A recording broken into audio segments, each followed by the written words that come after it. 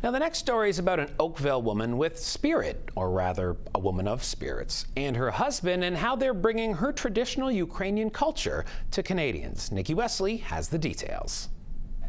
The birth of Zirkova vodka starts with a love story. Two engineers that met at university.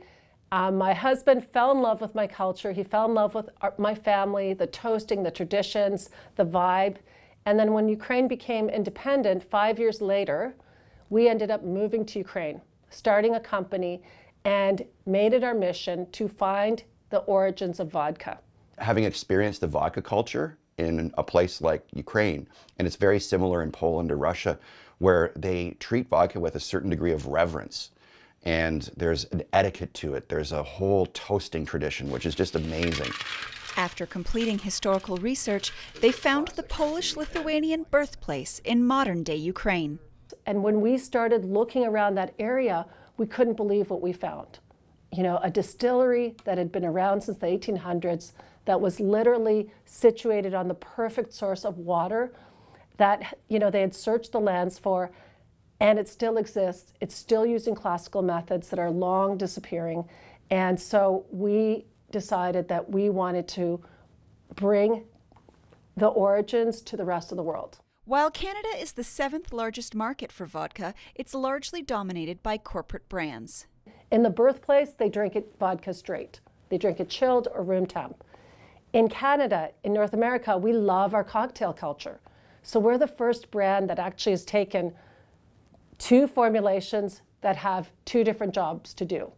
You know, Zirkova 1 that actually makes better um, spirits forward drinks. So this is your classical classic martini, sipping, shots, vodka water. And then together, which actually takes any mix and makes it taste better and not boozier. It's never it's just never been done before. So it's like this beautiful bridge between two cultures and honoring the birthplace and but honoring how we like to drink vodka as well. As Chief Experience Officer before the pandemic, John would auction off Zirkova tasting experiences, raising $400,000 for local charities. And people loved it. It was all about the culture of vodka, how it's made. They would learn everything there is to know and, and how to appreciate vodka. That suddenly stopped one day, including all of the LCBO in store demonstrations we did. We did 800 right before the pandemic we started doing our vodka experiences online. We would mail out a little package to people with everything they needed for it. And I actually realized it's almost easier sometimes to do it on Zoom because sometimes I'm doing a little comparison demo. And you know, sometimes people, I wonder, you know, they'll wonder, did did he mess with that?